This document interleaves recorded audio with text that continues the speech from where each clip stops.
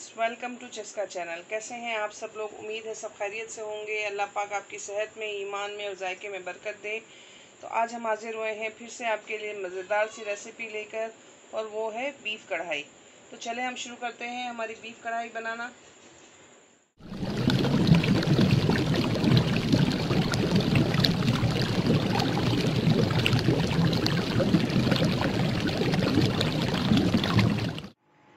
शुरू करते हैं हमारी बीफ कढ़ाई बनाना। तो पैन के नीचे मैंने फ्लेम ऑन कर दिया था। अब इसमें मैं ऑयल डाल रही हूँ। तकरीबन आधा से पौना कप के करीब आप ऑयल डालेंगे। इसको थोड़ा सा गर्म होने देंगे। ये चार से छः मैंने छोटी वाली, बारीक वाली हरी मिर्चें स्लाइस करके रखी हैं। आप उसको अपने टेस्ट के हिसाब से डालेंगे आपने कितना डालना है? और ये एक टेबल स्पून मैंने पेस्ट है लहसुन का और ये अदरक का पेस्ट है दो टेबल स्पून यानी कि अदरक हमने डबल लेनी है। कढ़ाई में जो असल जो टेस्ट होता है, वो अदरक का टेस्ट होता है। अदरक कढ़ाई में ज़्यादा यूज़ होती है।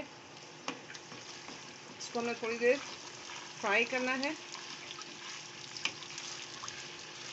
जब इसमें खुशबू आने लगे जब इसका कच्चापन ख़त्म हो जाए जैसे कच्चेपन की खुशबू होती है, वो ख़त्म हो, जो इसकी, जो भुनाई की खुशबू होती है, लहसुन की, अदरक की, मिर्चों की, वो आना शुरू हो जाए।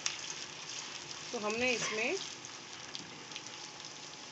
बारीक कटे हुए टमाटर डाल देने हैं। हमने तकरीबन एक से सवा किलो करीब गोश्त लिया था तो इसका पूरा जो हमने हाफ़ होता है, वो हमने टमाटर लेने होते हैं। ग्रेवी आपके ऊपर है कि अगर आप बहुत ज़्यादा पसंद करते हैं, ज़्यादा मसाला पसंद करते हैं तो आप इक्वल भी ले सकते हैं कि जितना आपने गोश्त लिया है, इतनी ही आप टमाटर ले लें, वरना हाफ़ तकरीबन आप ले लें तो वो भी काफ़ी होता है।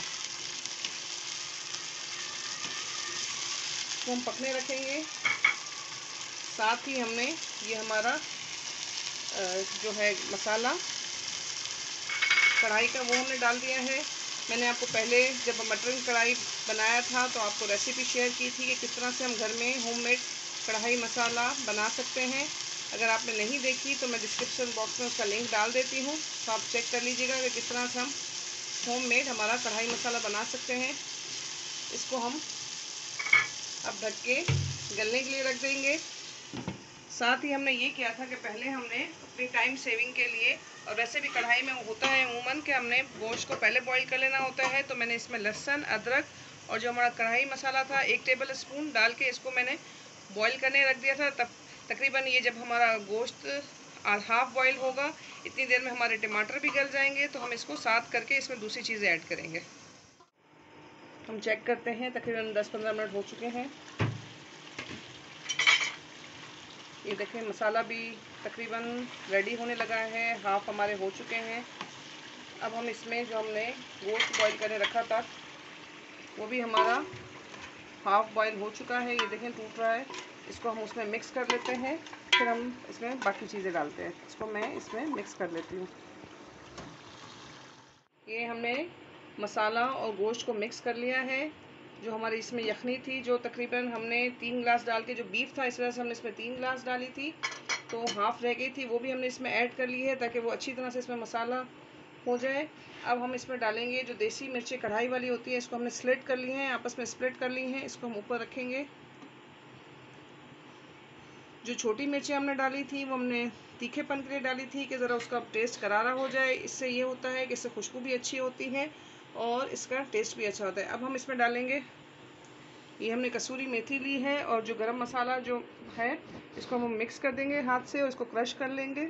जो कसूरी मेथी है, इसको अच्छी तरह से ये रोस्टेड गरम मसाला है। इंशाल्लाह मैं किसी दिन में आपको बताऊँगी कि किस तरह से मसाले को ड्राई रोस्ट करके, पीस करके, डब्बा करके रखते हैं ताकि वो हमें काफ़ी टाइम तक काम आता है। अब इसको मैंने मिक्स कर लिया है। इसको मैं ऊपर से इसको स्प्रिंकल कर दूँगी, इसको फैला दूँगी। और इसको हम ढक के भुनने तक, इसको मसाला भुनने तक पकाएँगे। ये देखें हमारी बीफ कढ़ाई रेडी हो चुकी है, इसमें भुनाई भी हो चुकी है साइडों से देखें, इसने ऑयल भी छोड़ दिया है मसाले ने तो ये हमारी रेडी हो चुकी है। अब हम इसको गार्निशिंग करते हैं और ये हमारी कढ़ाई है तो इसको हम कढ़ाई में ही सर्व करेंगे दस्तरखान पर। तो मैं इसको धनिया, पुदीना और अदरक के साथ गार्निश कर रही हूँ। कढ़ाई में मेन जो होती हैं, जो आइटम्स होती हैं, जिससे टेस्ट आता है, वो होता है टमाटर होता है और अदरक होता है। अगर इनकी क्वांटिटी ज़्यादा हो तो कढ़ाई बहुत ही लजीज और मज़ेदार बनती है। ये हमारी बीफ कढ़ाई रेडी है। बनाइए, खाइए, पसंद आए तो अपने दोस्तों के साथ इस लिंक को शेयर करें। बेल आइकन के बटन को दबाएँ ताकि हमारी वीडियोस अपलोड होते ही आपको मिल जाएँ। अल्लाह हाफिज़।